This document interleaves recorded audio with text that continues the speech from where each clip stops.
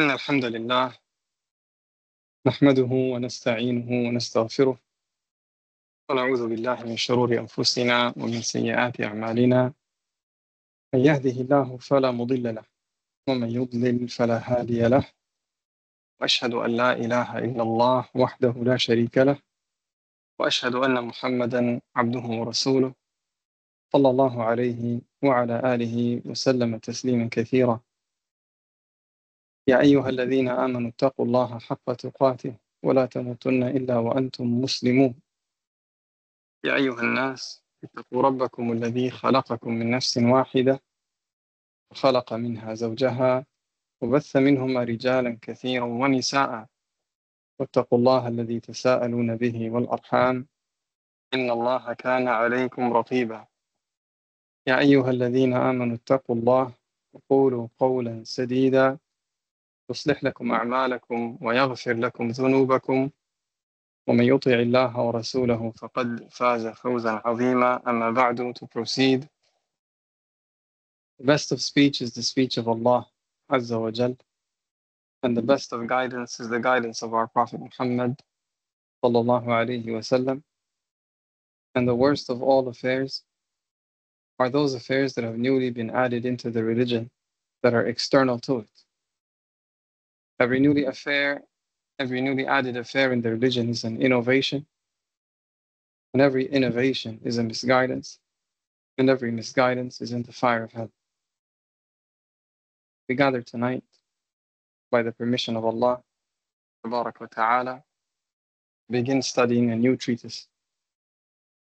As uh, inshallah all of you have seen, the treatise that has been selected for this course is Al-Qawa'idu Al-Arba' the four principles. By the preeminent scholar known as Shaykh al-Islam Muhammad ibn Abdul Wahhab ibn Sulaiman al-Tamimi. May Allah have mercy upon him. This uh, title was chosen because of a number of reasons from amongst these reasons is that it is considered foundational, such that the knowledge found in it is knowledge of the fundamentals. In other words, all the Muslims need this knowledge, and those who already have it will benefit from the reminder. Number two, it is chosen because this particular treatise is in reality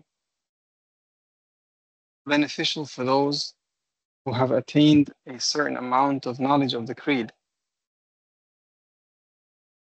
And this is contrary to the belief that many people have that this is for the absolute beginning. Many people think that this particular treatise is for the absolute beginner in the science of Aqidah. This is step number one. In a sense, that is correct. But in another sense, the reality is that the people who will benefit the most are not going to be the absolute beginners, while they will benefit. But those who will benefit the most are those who already have learned the Tawheed. In other words, those people who have studied the likes of Thalathatul Usul, the three principles, and the likes of Kitab al-Tawheed are going to be the ones who extract the most benefit out of this treatise. Why is that? Because in this treatise, the author, may Allah have mercy upon him, has chosen to teach based upon doubts and lies that are being spread by the enemies of Tawheed. While the beginner may not notice this, it will just seem that he is teaching four important principles. The one who has learned the Tawheed can detect what the author is doing in responding to and refuting these misconceptions and doubts being spread by the people of Shirk. And this leads me to uh, a side note. It has uh, occurred to me that one of the very beneficial ways to help us gain mastery of this text is to conclude with assigning homework. After we finish each one of the four principles, we will conclude with assigning homework, and the homework is going to be determine what is the doubt that the author was addressing? What is the misconception or doubt that is being spread by the people of Shirk? The author was attacking, dismantling, and diffusing. Inshallah, for each one of these principles, make it a goal for yourself. That not only will you understand the principle, but furthermore, you will understand what was the reason the motive behind the author working on it, the author teaching it and explaining it in the way that he did. And thirdly, the most important reason, or one of the most important reasons this was chosen, because of the status of its author. Shaykh al-Islam, uh, Muhammad ibn Abdul Wahhab, is well known. He's a star in the world of knowledge a beacon of light, if I may, someone whom Allah subhanahu wa ta'ala has caused his knowledge to spread far and wide.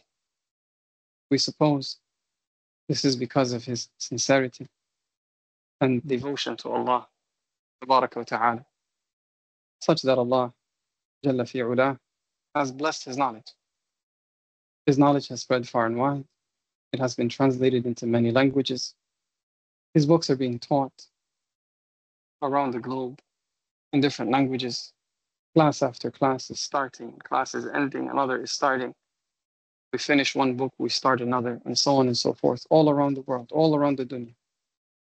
Students finish his books and they crave more of his knowledge, but they come back to take more only to find that the thirst and hunger for knowledge has increased.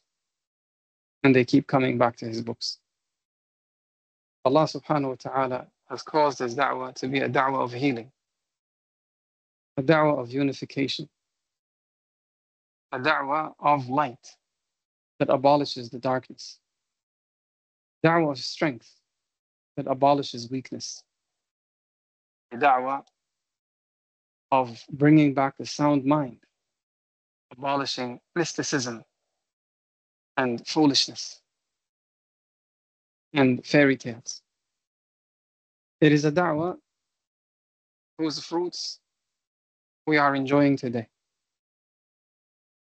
From the most obvious of its fruits is the fact that the land of the two holy mosques, the land of Saudi Arabia, has become a beacon of guidance for the people of Islam from his time and until today a land of safety for the Muslims, a stronghold of Tawheed, a land in which none other than Allah is being worshipped.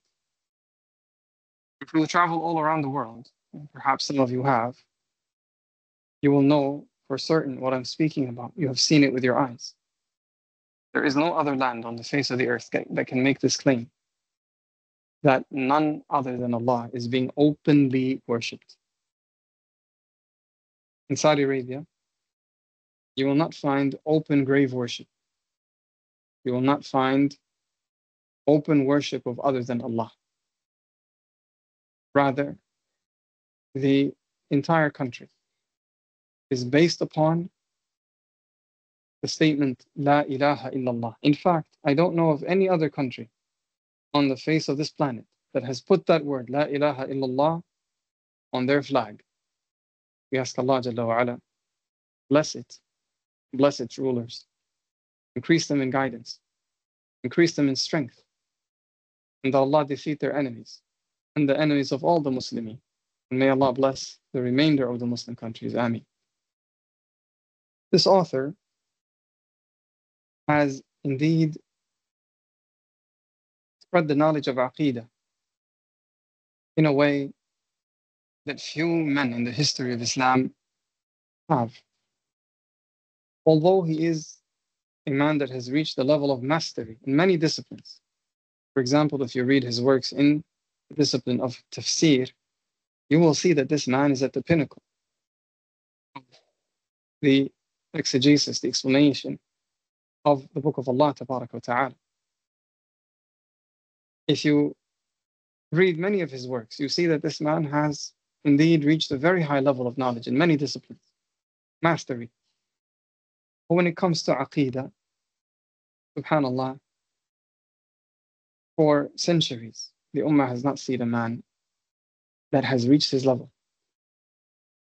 Not only because of the amount of knowledge that he has attained and shared, but further because he was a man of da'wah. You see, Shaykh al-Islam Muhammad ibn Abdul Wahhab rahimahullah ta'ala was very dynamic in his da'wah.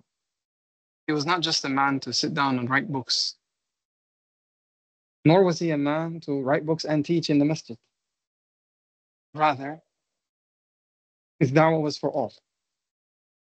He would be seen at the graveyards, debating with people, calling them to Allah ta'ala. He would be seen talking to the leaders of the ummah the emirs the different tribes and areas, calling them to Allah ta'ala, writing messages addressed to the leaders of different areas, sending them communication, letting them know exactly what the da'wah is, and refuting the claims of its enemies that are trying to tarnish it, disfigure its beautiful face. He was a man that put into practice, as far as we can see, statement of Allah تبارك وتعالى قل هذه سبيلي أدعو إلى الله على بصيرة أنا ومن اتبعني وسبحان الله وما أنا من المشركين say this is my path I call to Allah based upon knowledge based upon insight I and those who follow me and exalted is Allah and I'm not from the polytheists and I believe and Allah knows best that from the many fruits of his da'wah is the spread of Tawheed, pure Tawheed, without shirk, beyond the boundaries of the Arabian Peninsula and into many countries all around the world. A matter that makes the hearts of the believers rejoice wherever they hear of its news and they hear of its success. And this is why the people of Tawheed from the east and from the west are experiencing an affinity for the Shaykh, a love for him, for his works, and for his da'wah. We ask Allah Jalla wa'ala to bless the works of the Shaykh for us and for the Ummah of Muhammad. That Allah subhanahu wa ta'ala make his works heavy for him on his scales on the day that he meets Allah. And that Allah elevates his rank and gather us with him and with our Messenger Muhammad sallallahu alayhi wa sallam in Jannat al-Na'im. Nonetheless, there's one more thing left to be said before we move on, and that is that the Shaykh has followed in the footsteps of the messengers, as far as we know. Allah Azza is his accountant. We do not praise anyone over Allah. And as such, it is a given. There's no way around it. That there's going to be a campaign to smear the Sheikh, tarnish his name, a propaganda campaign to attack his da'wah with falsehood. Because never does a man call to Allah based upon the methodology of the prophets and then walk away unscathed by the tongues of the liars, the pens, the fabricators. It is a must but any man who walks in the footsteps of the prophets and the messengers must get a share of what they faced. They were tested. May Allah's exaltations and peace be upon them with the lies of their, their enemies and the slander of their enemies, the enemies of Allah, beginning with the shaitan, moving down the line to his followers. And every truthful follower of the messengers and the prophets must experience the same. So do not be surprised if you've heard propaganda being spread about the Sheikh. Do not be surprised if you see and meet people that have completely swallowed the lies that are being spread about him. Do not be surprised if you come across campaigns that are being supported and aided and perhaps even funded by certain entities that attempt to repel people from his da'wah and convince them that his da'wah is a da'wah of evil. And if I was to guess, I would guess that most of you have heard the word Wahhabi as, a, as an insult. It's, it's leveled at people as an insult, meaning that you are a follower of Muhammad ibn Abdul Wahhab. May Allah have mercy upon. And uh, there is nothing uh, shameful about that term. Wahhabi, if you are uh, calling us Wahhabi because of the name of Allah Al Wahhab, then Alhamdulillah. We all love Allah Azza wa Jalla Al Wahhab, the gifter, the giver, the most gracious. And we are hoping for more and more hibat, gifts from Allah. So affiliate us to Allah. We have no problem with that. And if you're affiliating us to this man, then we deem him to be from the greatest of the scholars of the Muslimin. We're not saying he's infallible. We're not saying he's never made a mistake in his life or never said anything that is incorrect. On the contrary, we believe regarding him the same that we believe regarding all the Imams of the deen that they are men upon guidance, men that have spread the knowledge of the Sunnah, but they are not infallible. The amount of khair and good that they have spread is far more tremendous than the mistakes, if any, that they have. So if you affiliate us with the Imams of the Muslimin, then we also have no issue with that. And if you're attributing us to Al Wahhabiyya because we've read his books and we love his books, then what you're really complaining about is the contents of his books. And this is the real issue. This is where things get sticky for them. Why? Because when you read his books and you go through them, you realize they are nothing but chapter headings, followed by ayat, verses from the book of Allah, from Allah's speech, followed by hadith, sunan, narrations from Rasulullah sallallahu alayhi wasallam. Sometimes followed by the athar al-salaf, beginning with the Sahaba radiallahu anhum, and the Imams of the Millah, of the Tabi'een and their followers. Very rarely he will mention something from one of the scholars. And perhaps equally rare is Shaykh al-Islam inserting some of his own speech.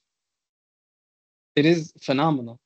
It is phenomenal that some of his books do not even include an introduction. Literally. He is so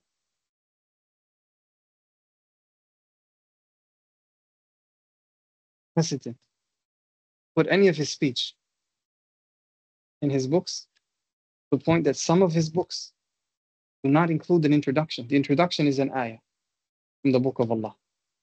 He will put the title of the book followed by an ayah from the Quran. Most famously, Kitab al-Tawheed wa Qullahi Ta'ala wa ma khalaqtu al-jinna wal-ins illa liya'budun. It is amazing.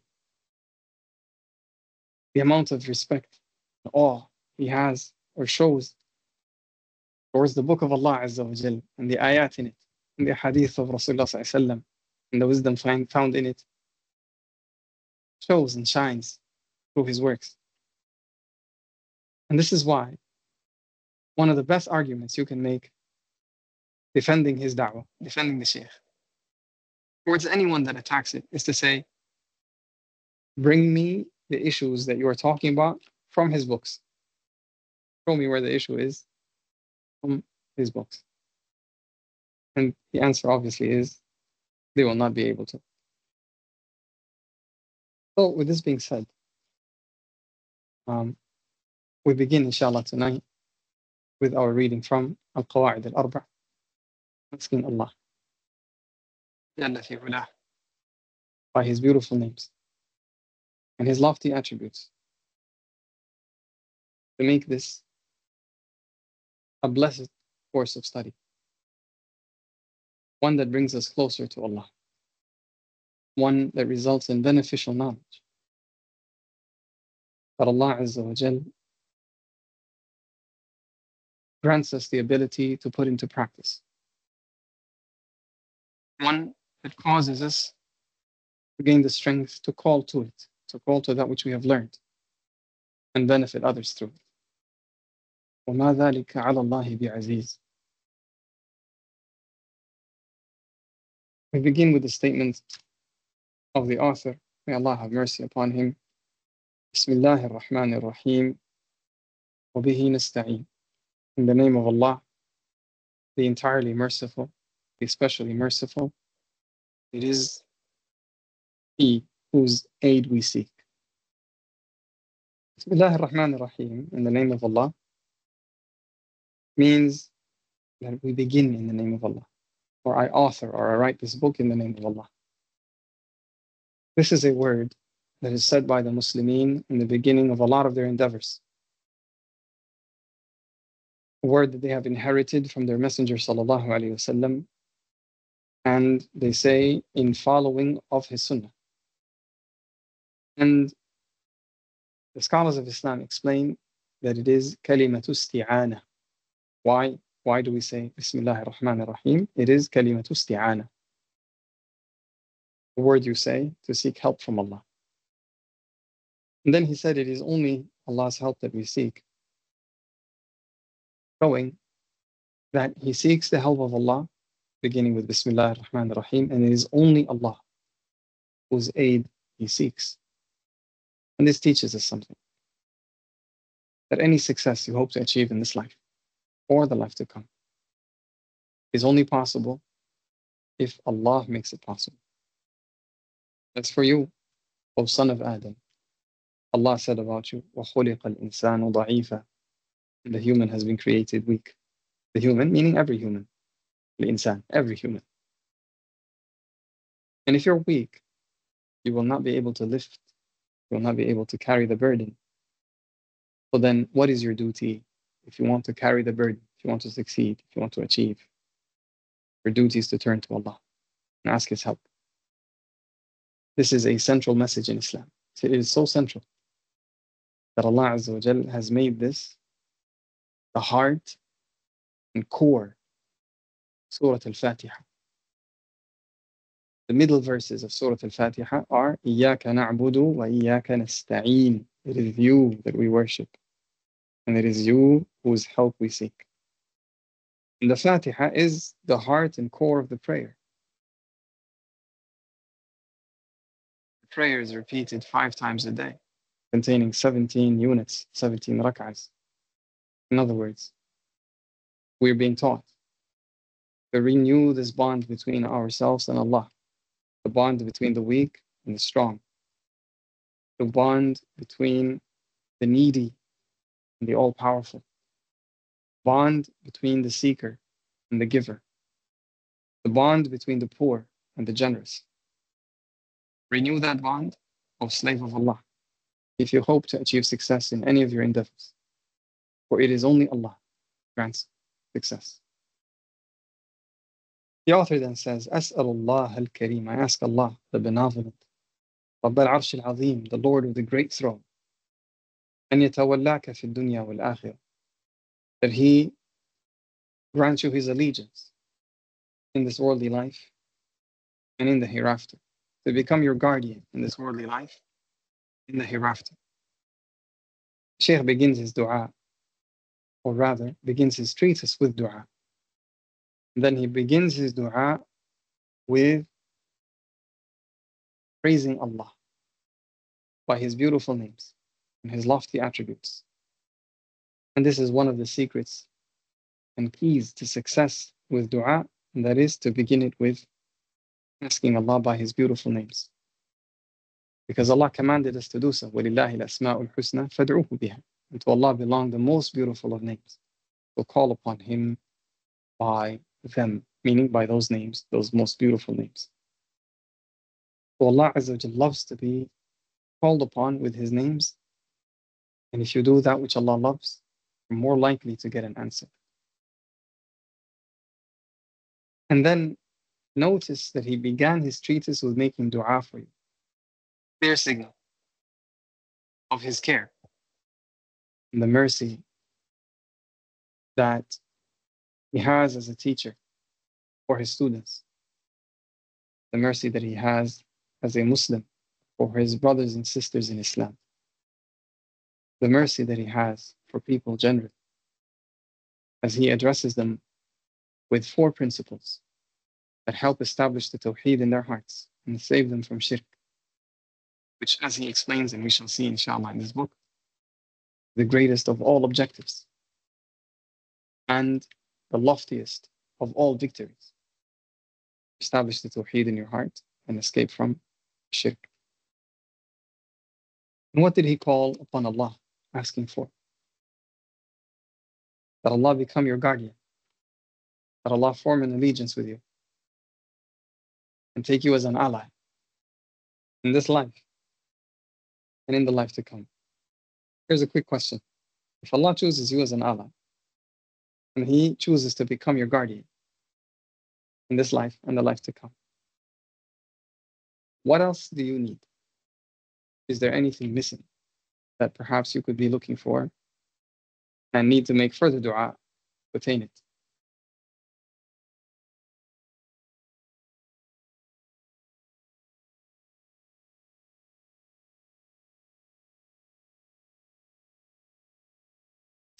those who said nothing left, that is correct. This is a, a gathering dua. Contains all the benefit that a human could possibly want. Then he goes on and he makes further dua. He says, وَأَنْ يَجْعَلَكَ مُبَارَكًا أَيْنَمَا كُنْتَ وأن يجعلك ممن إذا أعطي شكر وإذا ابتلي صبر وإذا أذنب استغفر فإن هؤلاء الثلاث عنوان السعادة he said, and that Allah make you blessed wherever you may be. And that He make you from those whom, when they are given, they are grateful. When they are tested, they are patient. And when they sin, they seek forgiveness. For indeed, these three things are a headline of happiness, title of happiness. If you wish uh, a looser translation, the entryway, the pathway to happiness. The first of these, he said that he make you blessed wherever you may be. And that is the description of those who follow the prophets. Allah Jalla said about Isa ibn Maryam that he said about himself, وجعلني مباركا أينما كنت وأوصاني بالصلاة and he made me blessed wherever I may be. And he entrusted to me the matter of the prayer. To be blessed wherever you may be. If you're in the marketplace, you're blessed, beneficial. If you're at home with your family, you're blessed, you're beneficial. If you're in the masjid, you're blessed, you're beneficial. Necessitates that you must have knowledge. Knowledge that will guide you to please Allah and benefit His creation. Knowledge of how to conduct yourself in all these different situations and others.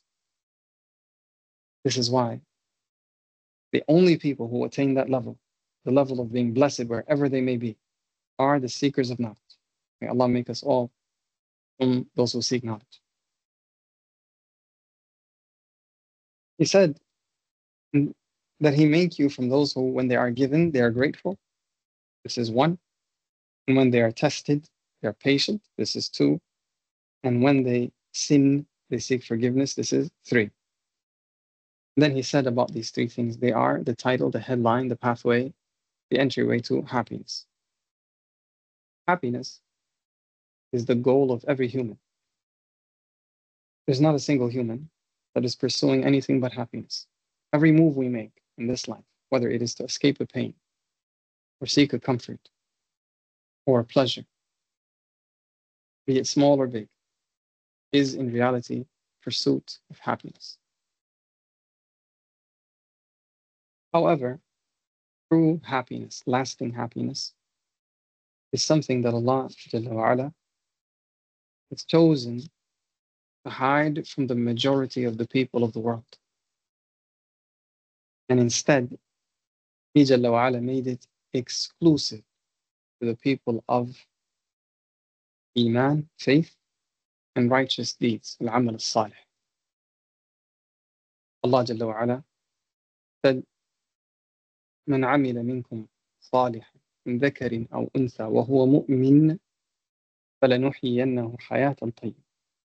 Whoever performs righteous deeds from, among, from amongst you, male or female, whilst a believer, then surely we will grant him a goodly life. This is the life of happiness. This is the life that the Sahaba lived. May Allah be pleased with them. This is the life the prophets and the messengers lived. This is the life that the scholars live. They've lived in the past and continue to live it today. And this is the life of everyone who fulfills these two criteria combining between faith and righteous deeds, good knowledge, sound knowledge, along with upright actions. Iman wal amal salih.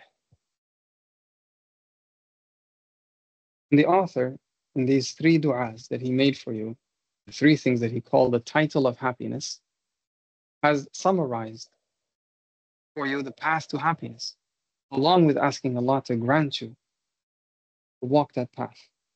But what is that path? In summary, we learn it from here. When Allah gives you, you show gratitude. When Allah tests you, you show patience. And if you sin, you ask for forgiveness. These three things cover the entirety of the human life from the moment you are born until the moment you pass away. Every single situation you will experience, you will encounter, is going to fall into one of these three categories. There is nothing else. A human does not go through anything but these three things. Every amenity is due gratitude. Every blessing requires results in gratitude. If you fulfill the right of Allah Azza to show gratitude, then you have completed one of the pillars of happiness. Every test from Allah requires patience. Patience is obligatory, it is not optional. There is a higher level than patience, and that is acceptance and pleasure accepting and being pleased with whatever Allah has decreed, even the painful decree, that is higher than patience. That is option. Meaning it is supererogatory. There's no sin on someone who cannot reach that level, the level of being happy with the decree of Allah, even when it's painful. But patience is required. Patience is an obligation. So a man who is patient in the face of the trials and tribulations, the tests of Allah Ta'ala, has fulfilled the obligation here as well. And then finally, when we fail to either show gratitude where gratitude is due, or be patient where patience is due, and we sin, then we immediately rectify what is between us and Allah through seeking Allah's forgiveness. In that case, you have completed the circle of happiness. If you live by these three rules, you will instantly become a happy person. I ask Allah to make me and you all from the people of happiness. Now, gratitude is three parts, three components.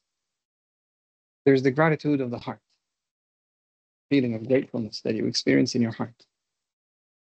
Basically, an admission between you and yourself that whatever you are enjoying, whatever you are taking for granted, whatever you are experiencing from amenities and blessings is all from Allah. Number two is expressing that openly with your tongue, attributing all the gifts of Allah to Allah. instead of the way of the kuffar, for example, who attribute the gifts of Allah to themselves. They say, oh, this is because of my intelligence, or I got this because of my uh, skills, or education, or perseverance, or grit, or, or, or. Or they attribute it to others. They say, oh, this is because so and so did such and such. Sometimes they will attribute the gifts of Allah, the most lowly of the creation. For example, they will say things like, if it was not for the dog, the thieves would have come into the house last night. Basically, they're saying that the dog barked loud and woke them up and scared the thieves away. But in reality, all of this should be attributed to Allah Ta'ala. Every blessing is from Him. Azza wa. If you want to mention something about the factors that you see that Allah has put in place, mention it after you admit that it is from Allah. So you can say something like, if it was not for the blessing of Allah, then for the dog waking up and barking, then the thieves would have done such and such, for example. Number two, basically, is to admit the blessings of Allah Azza wa with your tongue. This is a component of gratitude. Lastly, number three, third component of the three components of gratitude is to use your limbs to show gratitude to Allah. Azza wa Apply your limbs in actions that please your Lord Jalla wa'ala. Primary amongst things that please Him are the obligations that He has placed upon. And from these obligations is to use His blessings in a way that pleases Him. To give you an example, if you want to show Allah gratitude that Allah has given you sight, then use your sight to look at the things that please Allah. Look at the Mus'haf. Look at the books of the people of knowledge. Sit down in the masjid and look at the face of your teachers and scholars. Look at the creation of Allah and wonder, and puzzle over its beauty and splendor, over signs that He has left all around you the mountains, the clouds, the rivers, trees, flowers, the bees, and the birds. Use your eyes to please Him, Azza wa Jal, and certainly do not use them things that are sinful, haram, things that distance you from Allah Jalla. This is how you complete gratitude.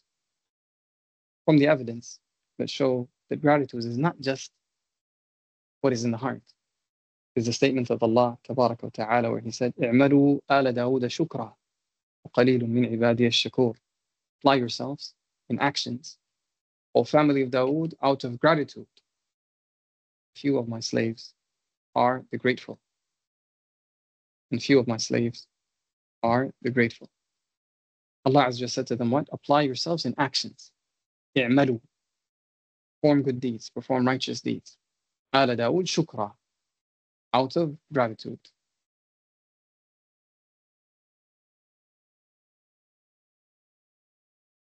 Then he said with Abtulia Sabr, if he is tested, he is patient. Ibtila is either being tested or being tried. Being tested means to be tested with the commandments of Allah. Do and don't do. An example of the word ibtila being used in this fashion is the statement of Allah, وَإِذِ ابْتَلَى إِبْرَاهِيمَ رَبُّهُ بِكَلِمَاتٍ and mention when your Lord tested Ibrahim with words. So he completed them. Then Allah said, I'm going to make you a leader to mankind, a role model. So Allah rewarded him for following the commandments of Allah ta'ala by making him a leader to the righteous, to the people upon goodness, a role model. So the word ibtila is used to mean what? Being tested with commandments of Allah. The other is being tested with trials, such as sickness, such as disease, such as poverty, such as the death of loved ones. Painful trials, trials of pain. That Allah will extract from you patience. An example of the word being used this way, Allah Azza said, وَلَنَبْلُوَنَّكُمْ بِشَيْءٍ مِنَ الْخَوْفِ وَالْجُوعِ ونقص من الأموال والأنفس والثمرات وبشر الصابرين And indeed we shall test you with some fear, some hunger,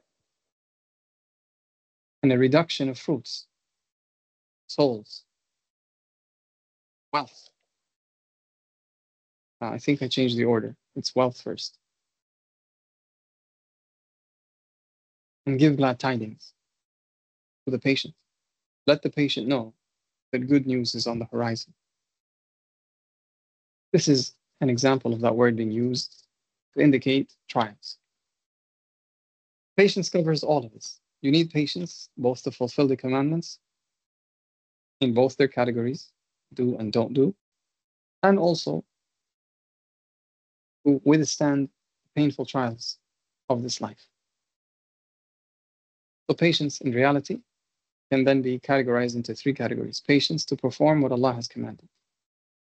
Patience to abstain from what Allah has forbidden. And patience to persevere in the face of painful trials. These are the three types of patience. Finally, he said, وَإِذَا أَذْنَبَ اسْتَغْفَرَ And if he commits a sin, he asks Allah for forgiveness. And Allah Azza wa is one that forgives. And He loves to forgive. In fact, He created a category of beings, the angels, that doesn't sin. But He Azza wa Jal chose to create us as sinners. And He let us know by way of His Messenger, sallallahu alaihi wasallam, the reason He created us acceptable to sin. What is that reason? Because He wants to forgive. He wants to be known as one that forgives. He wants it to be known that He's capable of punishing, but chooses to forgive. He wants us to worship Him through the knowledge of the fact that He is forgiving. We turn to Him, we raise our hands to the heavens, we say, Oh Allah, forgive us, for indeed you are forgiving. He loves to be known. And that aspect, that attribute, that description of Allah Azza wa Jal is not known in full till there are sinners who He then forgives. Then Allah is known in full as Al Ghafur, the often forgiving. And this completes the commentary on this dua. Now, before we move on, it is interesting to note this particular dua is the exact same dua found in the introduction to one of the books of Al-Imam Ibn al-Qayyim. Perhaps some of you know which book I'm referring to. If you do, mention it to us.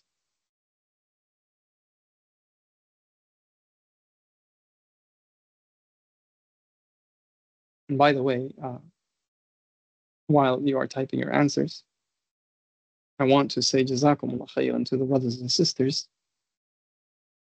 who are sharing some of the benefits in the uh, in the chat for others to uh, benefit from them.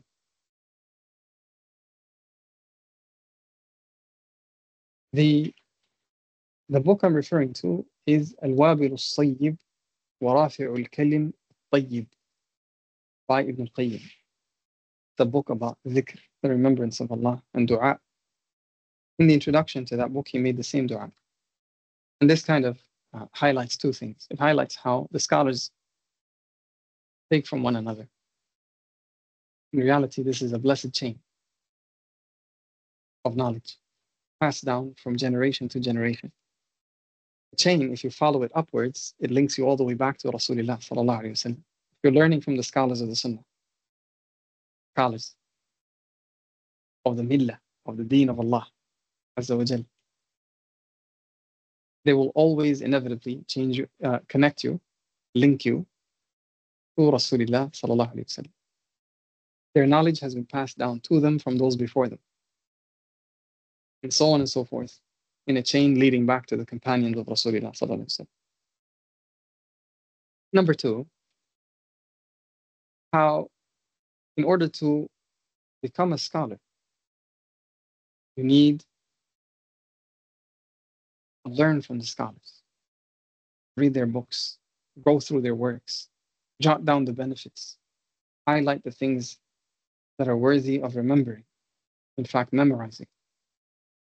Put in the effort go through the works of the people of knowledge. Just as an example, Al-Imam Ibn al-Qayyim, rahimahullah, who we just spoke about, is one of those scholars that the people of knowledge recommend that all his books should be read. All his books are recommended reading. You should go through the entire library of Ibn Qayyim and not skip a single page. And you will benefit tremendously. Obviously, this doesn't mean that you should jump at it uh, without any game plan, without any particular structure or organization, without having the help of a teacher. But generally, uh, this is a library that you want to benefit from in its entirety. Something that you will benefit from tremendously if you go through that entire library. I would not be surprised if Shaykh al-Islam Muhammad Abdul Wahab had gone through the entire library of Ibn Qayyim, at least everything that he could get his hands on. Likewise, Ibn Taymiyyah. Then the author, he said after this introduction, اعلم أرشدك الله لطاعته أن الحنيفية ملة إبراهيم أن تعبد الله وحده مخلصا له الدين وبذلك أمر الله جميع الناس وخلقهم لها كما قال تعالى وما خلقت الجن والإنس إلا ليعبدون He said no K-N-O-W, learn. In other words, be certain of what I'm going to tell you next. This is a word the scholars use to grab your attention and make you realize what is coming next is something that you have to be certain of. May Allah guide you to His obedience. May Allah guide you to His obedience. In other words, may Allah guide you to applying the knowledge. That Al Hanifiyya, the religion of Ibrahim, is that you worship Allah alone making your deen entirely devoted to Him, sincerely devoted to Him. And it is this that Allah has commanded all of mankind with and created them for it.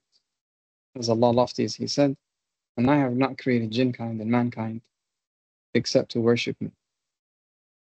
The author here, may Allah have mercy upon him, is teaching us in a second introduction about Al Hanifi, explaining along the way that Al Hanifiyya is the reason for our existence. Someone was to say to you, Why are you here? The answer is to establish Al Hanifi. What is that? Worship Allah alone without partners, to devote myself to Allah, make my whole life about Allah, every moment of my wakeful hours and my sleep for Allah Azza wa Now, from the Quran, we see some evidence highlighting the beauty of Al-Hanifiyyah and the requirement that Allah has placed upon all creation to follow it. An example of that is Allah Azza wa saying, ومن أحسن دينا ممن أسلم وجهه لله وهو محسن اتبع ملة إبراهيم حنيفا اتخذ الله إبراهيم خليلا Who has a more beautiful religion than one who has submitted their face to Allah. Yani they have turned and faced the direction of the pleasure of Allah and complete, completely embraced that path and submitted themselves to the pursuit of that path. وهو محسن whilst in a state of graciousness, meaning that they are doing so observing Allah's pleasure, Azza wa Jal, worshipping Allah as though they see Allah. واتبع ملة إبراهيم حنيفا and followed the religion of Ibrahim as a Hanif.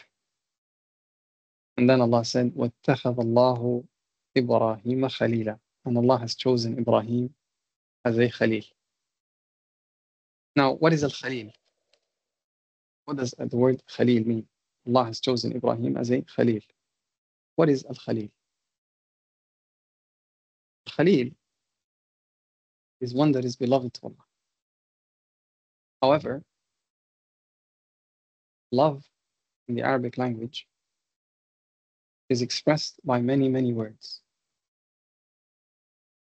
Amongst these words is al-mahabba. Mahabba is love. Mawadda. Mawadda is love. Miqa. Miqa is love. There's many words that express love in Arabic. And the word khulla is the most powerful of these words. Scholars of the language, they say, comes from a takhallul. Takhallul is when something permeates through another.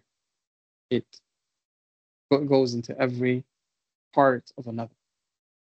This is why khulla is derived from these letters, from the letters of al-takhallul. Why?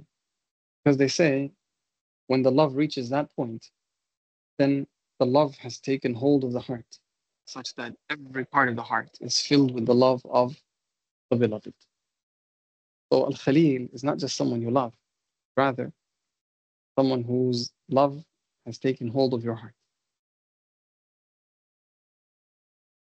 So if you are fortunate to be so loving of Allah Azza wa Jal, that Allah is your Khalil, then indeed your love for Allah subhanahu wa ta'ala has taken over the entirety of your heart. In the case of Ibrahim alayhi salatu wasalam, Allah has chosen him as a Khalil. Allah has chosen him as a Khalil. Allah has expressed for all humanity that Ibrahim has reached a level with Allah. Allah loves him so much that he is his Khalil. And based on the evidence of the Quran and the Sunnah, we only know of two men who have ever reached that level with Allah. Allah has loved them to that extent. Who are these two men? Ibrahim is one of them. We just read the evidence right now. وَاتَّخَذَ اللَّهُ إِبْرَاهِيمَ خَلِيلًا Who is the other man that has reached that level with Allah? This is one question. That's the correct answer. Jazakumullah khair. Second question is why? Why finish this ayah with وَاتَّخَذَ اللَّهُ إِبْرَاهِيمَ خَلِيلًا And Allah has chosen Ibrahim as a Khalil. Now, uh, for those of you who haven't seen the answer to the first question, the answer is Muhammad sallallahu alayhi wa sallam.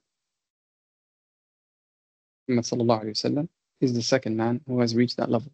And the evidence is in the Sunnah, where he said, sallallahu alayhi wa sallam, revealing this fact to his companions, he said, صلوات الله وسلامه عليه ولكن الله اتخذ صاحبكم خليلا However, Allah has chosen your companion as a Khalil, referring to himself as their companion.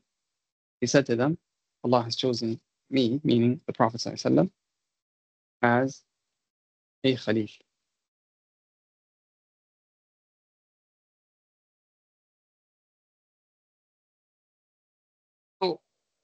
To give you a hint, first part of the, of the ayah is about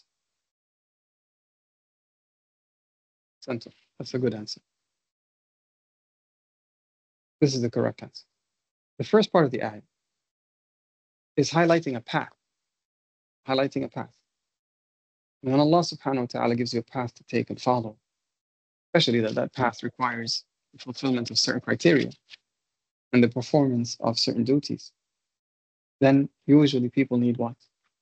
They need an incentive. motivate them, to make them want to follow that path.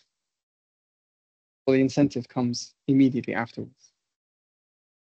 After you are told to follow the path of Ibrahim and his religion as a Hanif, then you are told what the result is. The result is that you are following the path causes Allah's love for you to grow.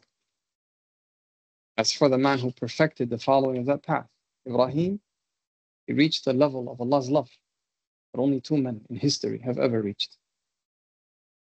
In other words, you follow that path. You're on the ultimate path. You follow that path. Then your path to success is guaranteed. And based upon how much you're willing to put in, how much effort you're willing to expend, you will get and reap the rewards of your efforts.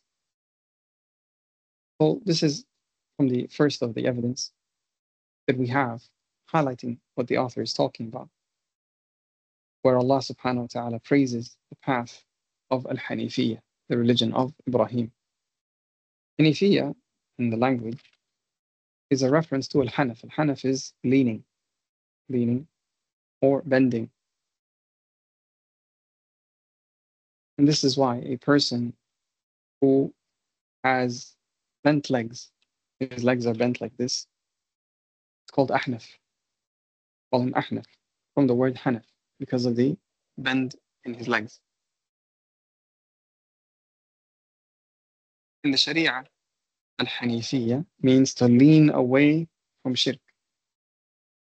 And by default, that means to lean towards the Tawheed, towards Allah.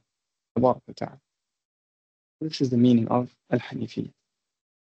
Always lean towards Allah always lean away from shirk. Inshallah, we conclude with this uh, point, and bi'idhnillahi ta'ala, we will pick up from here the next time we meet. سبحانك اللهم وبحمدك أشهد أن لا إله إلا أنت نستغفرك ونتوب إليك اللهم ربنا انفعنا بما علمتنا وعلمنا ما ينفعنا وزدنا علما تنفعنا به. ربنا آت نفوسنا تقواها وزكها أنت خير من زكاها. وليها ومولاها. ربنا آتنا في الدنيا حسنة في الآخرة حسنة من عذاب النار. جزاكم الله خيرا. إن شاء الله we meet again. السلام عليكم ورحمة الله وبركاته.